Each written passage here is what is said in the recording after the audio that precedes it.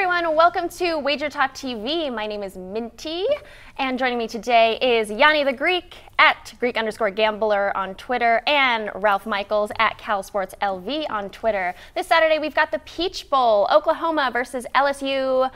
Both these teams very high scoring offense, so it's no surprise that the total is set pretty high. Um, I don't doubt there will be a shootout, but who are you liking here, Yanni? Personally, listen, there's not much to not like about the LSU side.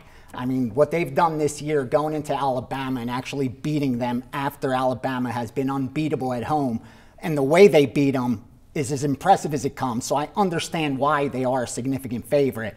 But line value wise, it's just too high. Um, and as bad as Oklahoma may have been against the spread this year, let's not forget this is a team that was pretty much favored every game and significant favorites. I mean, most of those games they didn't cover, they were 20 point favorites. Now it's a reversed role. They are now a two touchdown underdog. Two completely different things than what we saw from them in the regular season. Uh, so for me, I, I just think that's way too many points. And the one thing with LSU, as as good as they've been, and as hard it is to find a flaw, They've done their best work at Baton Rouge. Um, on the road, they allow over a touchdown more per game. They allow 1.2 yards per play more that defense has on the road. Uh, so for me, I think I'll take Oklahoma plus the 14. Hmm. We're going to agree. On the same side? Yeah, you know, I now add in Clyde Edwards Helaire, also banged up, may not play. You know, right now the reports are they're going to probably give him a go. But, you know, if you're the coach, do you say, let's sit him, perhaps get a win For and have next, him healthy? Yeah, yeah. Or do we risk playing him now and then have him gone? You're missing a guy with 1,290 yards, 50 carries for 399 yards. Yes, Oklahoma has Ronnie Perkins suspended. I mean, their top pass rusher. But, you know, a, a, suspension's different than an injury. A suspension for kids doing something wrong, people, you can galvanize around them. You can say, hey, listen, you know, next man up. When it's an injury and you're not sure he's going to play and he might be in practice, it's, it's really a different scenario.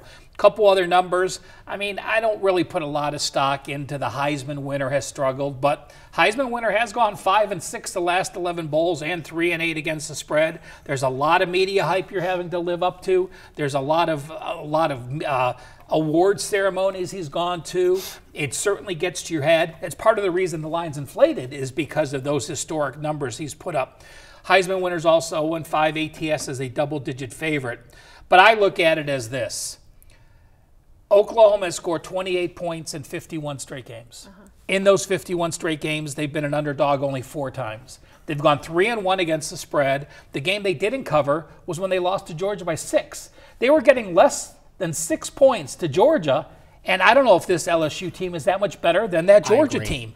And you know, you have Jalen Hurts. Okay, you can give any stat you want, but when you add in his 18 rush TDs to his passing yards the bottom line is this. He's 38 and 3 as a starter, and he's beat Clemson twice. And you're getting two touchdowns. You know, and then lastly, you look at okay, Oklahoma's been here and done that. LSU hasn't. No, they Prepping haven't. for this with a new head coach. Yes, they've been to a bowl, but they haven't been to the playoffs.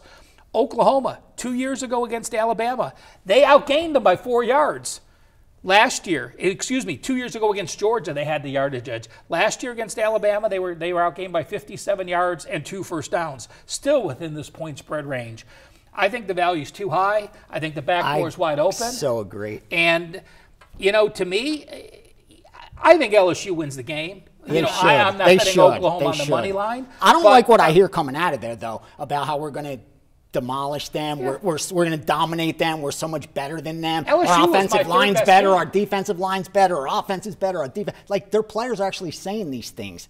Got to be. And Oklahoma's got some studs on that side. The only reason you're the number one seed is because you're in the SEC. I have both Clemson and Ohio State rated higher than LSU. So that one against four is really a, a misconception in my mind. They beat Alabama. That's it. That's why. Very, you know, they had a tough schedule. Very good points. I'm rethinking my lean on LSU. Guys, get 12 full months of all access from your favorite Wager Talk or Sports Memo capper for just $1,200. That's $100 a month to receive every play in all sports from your favorite capper, including all 5% plays that sell for $40 by themselves. This is the biggest discount of the year. Just use coupon code GIFT100 at checkout.